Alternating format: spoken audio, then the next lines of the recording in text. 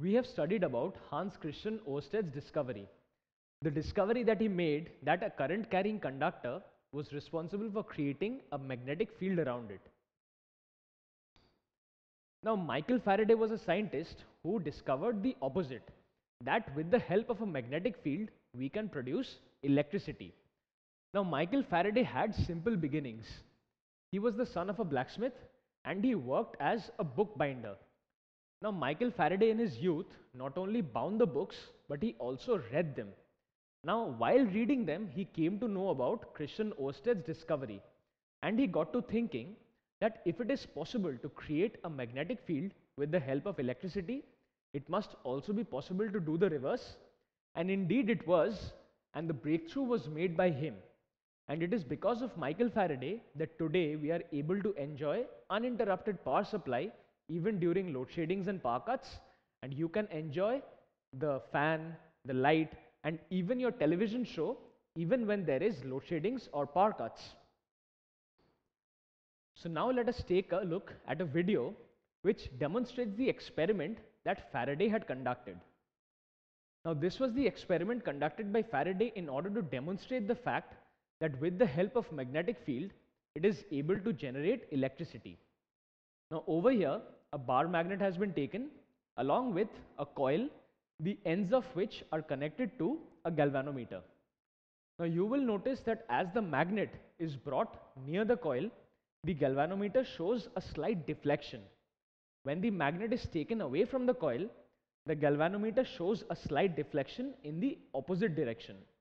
But you will also notice that if the magnet is kept stationary, then there is no deflection in the galvanometer. So let us find out what exactly is going on. We know that a magnet, in this case a bar magnet, has magnetic field all around it this magnetic field is represented by the magnetic field lines from north to south. So firstly, when we find that the magnet is at rest, we will see that the galvanometer needle shows no deflection. Why? Because when the magnet is at rest, the number of magnetic field lines due to the magnet passing through the coil remains constant. Or in other words, we can say that when the magnet is at rest, the number of field lines linked with this particular coil that we have considered is constant and as a result there is no deflection in the galvanometer needle. It remains stationary or fixed at the zero mark. Now notice what happens when the magnet is moved. As you can see once the magnet is moved into the coil the number of magnetic field lines through the coil increases and when it is moved away from the coil the number of magnetic field lines through the coil decreases. So we can say due to movement of the magnet, the number of magnetic field lines either increases or decreases through the coil. So as you see, the total number of magnetic field lines is changing and this has a particular name. The total number of magnetic field lines due to the magnet passing through the given coil is known as the magnetic flux linked with the coil. So when we find that the number of field lines is increasing, it means that the magnetic flux linked with the coil is increasing. And when the magnetic field lines are decreasing, it is the magnetic flux linked with the coil that is decreasing. So the change in magnetic flux is what is resulting in the deflection of the galvanometer we found that when magnetic flux remained constant, there was no deflection in the needle. However, whenever there was a change in magnetic flux, a deflection in the galvanometer was present. This deflection in the galvanometer implies that a current is present in the circuit. How can we say that? Because we know that galvanometer is an instrument which measures current and also denotes the direction in which current flows.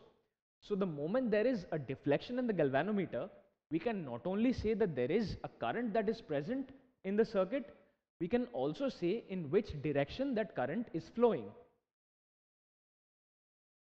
Now we have studied that whenever current has to flow, there should be the presence of a certain electrical potential difference. Now this electrical potential difference should be applied at two ends of the circuit. So only when there is an electrical potential difference, current will flow. Now this electrical potential difference is also known as EMF or the electromotive force. So thus we can say that for current to flow, there should be the presence of EMF or an electromotive force. Now what did we find? We found that whenever the magnet was being moved, there is a deflection in the galvanometer, which means that there is the presence of a current. So if there is a presence of current, we can say that there is an EMF and this EMF has been induced due to the movement of the magnet or the change in magnetic flux. So because there is a change in magnetic flux, it results in the production of an induced EMF. So whether it be that the magnetic flux is increasing or decreasing, it means there is a change and thus there is the production of induced EMF. So this phenomenon is known as electromagnetic induction. Electromagnetic induction is nothing but the production of an induced EMF due to change in magnetic flux. So how do we define electromagnetic induction? Electromagnetic induction is defined as the phenomenon in which an EMF is induced in a coil due to change in magnetic flux linked with the coil. Now again there are a few things to be kept in mind. The first and foremost thing is that an EMF is induced only when there is a change in magnetic flux linked with the coil.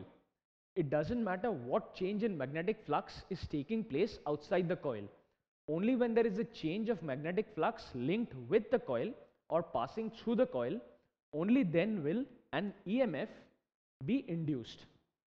As a result, induced current is produced that flows in the closed circuit and the direction of it as we saw could be found out with the help of a galvanometer. So now let us look at a simulation which will demonstrate the experiment that Faraday had conducted. So over here I have taken a bar magnet with its north pole on the right hand side and south pole on the left hand side and I have also taken a coil. Now as you can see the ends of this coil are connected across a device that will indicate the EMF that is being produced. It will also so show us in which direction the current through the coil is flowing. So let's say I take this coil and I move it inwards or towards the coil. As you can see, there was a slight deflection to the negative side of this particular device. So this means that current is flowing in this direction. Now notice what happens when I drag it out there was a deflection in the opposite direction. Now as you can see when I am keeping this magnet stationary or at rest there is no deflection taking place but the moment I am moving it inwards there is a certain deflection. The moment I move it outwards again there is a deflection but in the opposite direction. Now as you can see this direction gives us the direction in which current flows and this is purely because there is the change in magnetic flux linked with this particular coil. Now in this animation you will find that when the magnet is being moved towards the coil slowly there is a certain deflection in the galvanometer. However, if it is being moved in and out towards the coil and away from the coil faster then the deflection in the galvanometer is more than the previous case. So what does this imply? This implies that if we move the magnet fast inwards and outwards from the coil, then the galvanometer deflection will be more. And if the movement is slow, then the galvanometer deflection will be less. This leads us to a very important conclusion. That conclusion is that if the rate of change of magnetic flux is more, or in other words, if the rate at which the magnetic field lines linked with the coil is more or increased that means the induced EMF will also increase.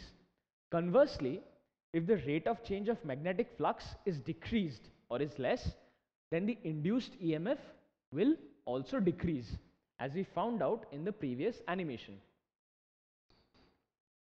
So this implies that the induced EMF is directly proportional to the rate of change of magnetic flux. Or in other words, if we increase the rate of change of magnetic flux or if it is more, it will imply that the induced EMF also increases. Similarly, if we decrease the rate of change of magnetic flux or if it is less, then it will imply that the induced EMF also decreases or is less. So Faraday, after studying about electromagnetic induction, postulated these laws. These laws are known as Faraday's laws of electromagnetic induction and they state whenever there is a change in the magnetic flux linked with the coil, an EMF is induced. The induced EMF lasts as long as there is a change in magnetic flux linked with the coil. So only as long as there is a change in magnetic flux, the induced EMF will last.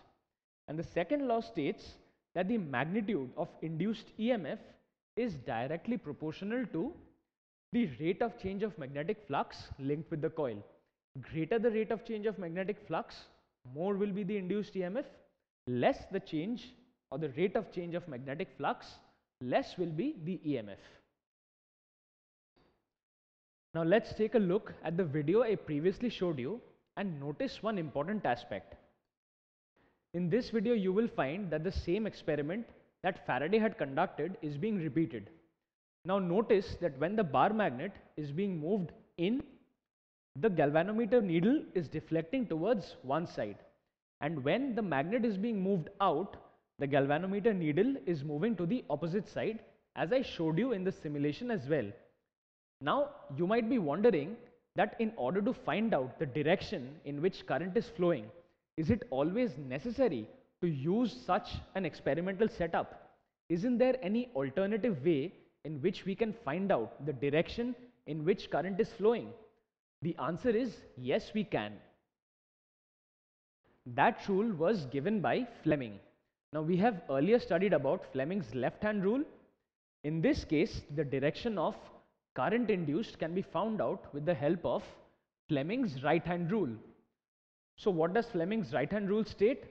It states that if you stretch out your forefinger in the direction of the magnetic field and if you stretch out your thumb in the direction of the force, then if you stretch out your middle finger perpendicular to both the thumb as well as the forefinger, that will give you the direction of current. So if we consider the image on the board, you will find that the magnetic field is in this direction. The force is being applied in the upward direction. So obviously, if I stretch out my middle finger perpendicular to both the forefinger as well as the thumb, then the direction in which the middle finger is pointing will give me the direction of current. So in this case, the direction of current is this. So as you can see, if we use Fleming's right hand rule, instead of going through such an elaborate experimental setup, we can also determine the direction of induced current.